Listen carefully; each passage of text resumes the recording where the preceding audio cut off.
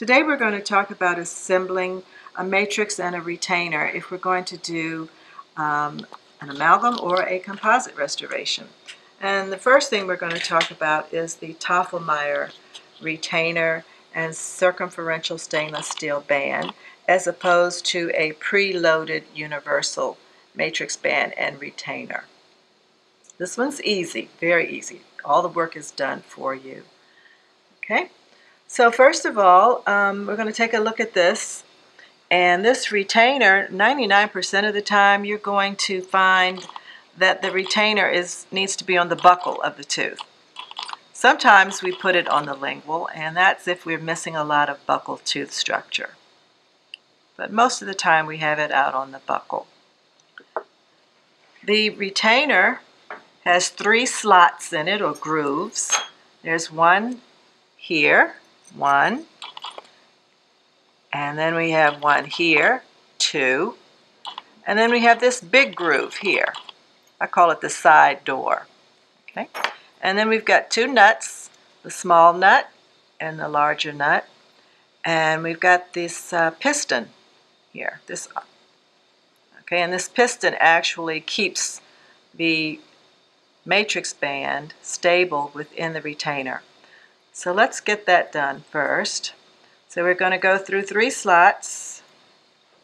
And let's see, there's one slot, two, and then out the side door, three slots. Okay, and then we're going to tighten it, the short nut first. Tighten it. Short people get in line first in elementary school. Okay, now we're going to put the um, band over the tooth. And it slips right in, that's good. Okay, now ideally you want the edge of the band, the occlusal most portion of the band, to be about one or two millimeters occlusal to the height of the proposed marginal ridge that you're going to create. Then we're going to tighten the larger nut. Okay, there we go. And the next thing we're going to do is place the wooden wedge. Okay, and I'm going to put this one in from the lingual. You can pick it up with your um, cotton pliers or a hemostat. Okay, stick that in as far as it'll go. Tell your patient that you're going to feel some pressure. Okay, but it shouldn't hurt, just a lot of pressure. Okay. And then we're going to burnish the band against the adjacent tooth. We can use this small ball burnisher. Sometimes I'll even use a small acorn burnisher or even the small uh, amalgam condenser. And the purpose of the wedge, the wooden wedge, is to actually create a little orthodontic movement. So we're actually increasing the distance from tooth number 29 to the mesial of to the distal of tooth number 28. And that helps us get nice positive contact. Okay, and that's it. Very simple. So now we're ready to take it off. We've condensed. So we're going to loosen our screws, our nuts, and remove our um, and sort of, let's see, first thing you want to do is get your uh, wedge out. And I don't have cotton pliers. I'm going to use these scissors. You're not going to do this with your patient though. Okay. Pretend these are cotton pliers. Remove that. Okay. And then turn, turn your band sort of diagonally and then out. Okay. Now, this is the universal band, and this is quick and easy. No one will ever want to use my Tofflemire. Just slip it in. And of course you're going to have to wedge it.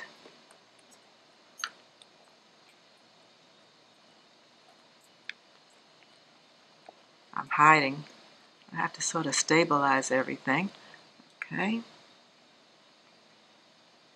Matrix band.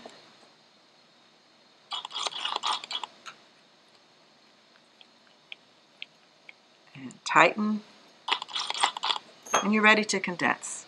That's good. All right. Now we can use these for either amalgam or composite.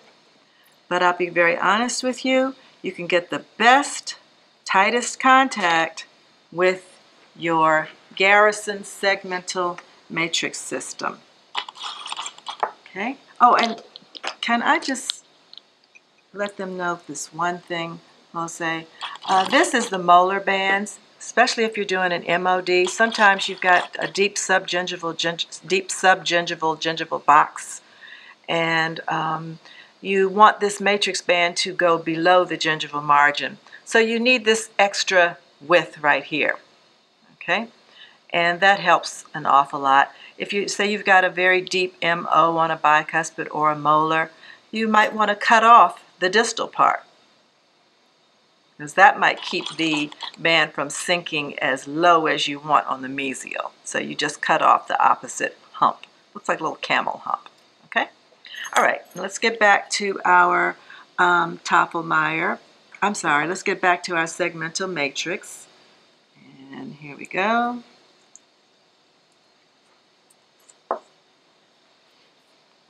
Now, we're going to do number 29 again, and the first thing we're going to do is take our fingers and get some contour to our band. This with our little our fingertips, okay? And the concave, can, oh, I'm sorry, I dropped it into the patient's mouth. The concave edge of the band goes against the occlusal surface, okay? So, first thing we're going to do and you can use your cotton pliers to seat this.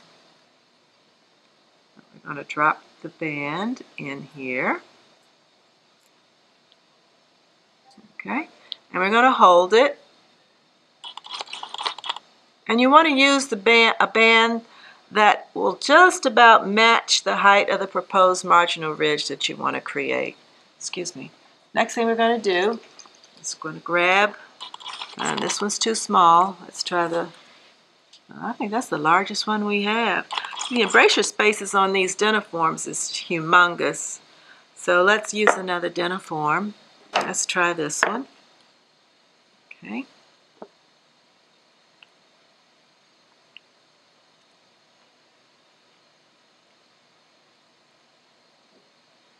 There we go. That slides in there. And let's try this. Okay.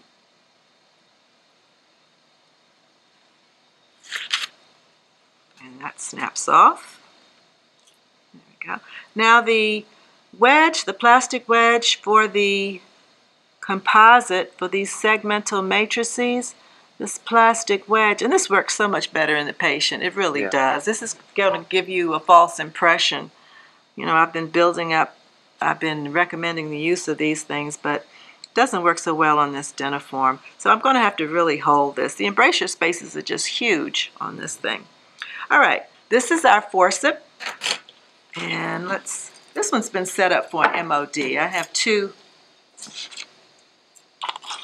two retainers two rings stacked on top of each other. So let's take this off. Alrighty, and we're going to use it on this one. And can you see these little uh, indentations here? Okay, these are going to fit on top of our wedge.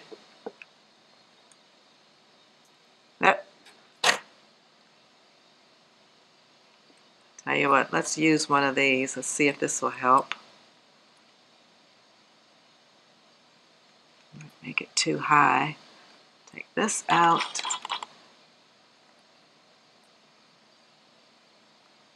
Easier for me to hold on to, maybe. No, probably not. Yes. Wrong wedge. Though you can use a wooden one. Let's put this plastic wedge in there. Okay. And here we go.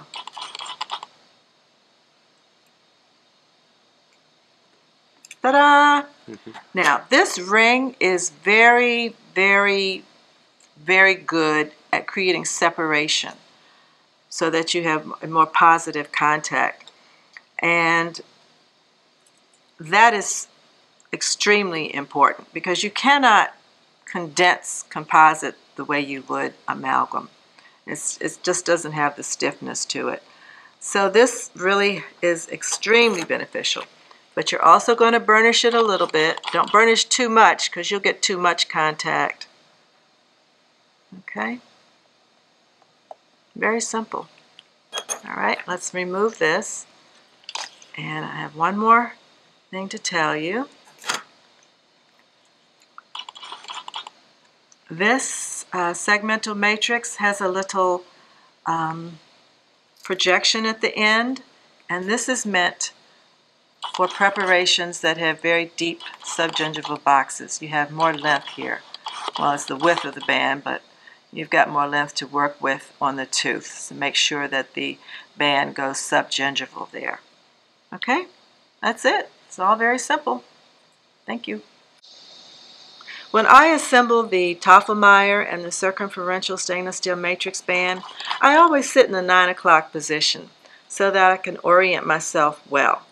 And I'll even do that if I'm assembling it for the upper arch. The reason being, it's um, the setup in the lower right hand side is going to work for the upper left hand side, the upper left quadrant. Okay, you got that? Because it's a little awkward to sort of visualize all this if you're sitting in the 11 o'clock position. You're going to be working in the upper arch or 12 o'clock position. And you're, you, you know, you're trying to assemble this and you're thinking upside down and backwards. But you don't have to. Put yourself in the 9 o'clock position, 10 o'clock position, and observe directly, vision coming this way.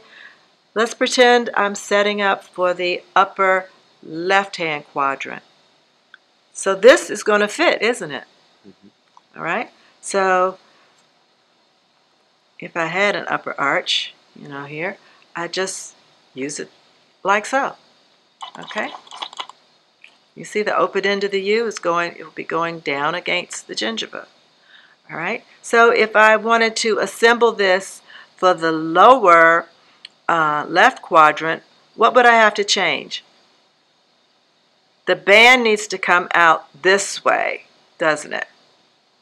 Okay, so this assemblage here for the lower left quadrant, all we have to do to make it work the other for the upper would be to turn it this way. Okay?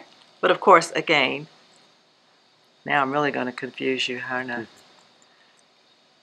All right, I'll be fair. Now, I want this set up for bicuspid in the upper right hand side. So I assemble it just thinking about the lower left hand side. So when I go to put it on the upper tooth, all I have to do, turn it this way, and I'm ready to go. Okay, that's it.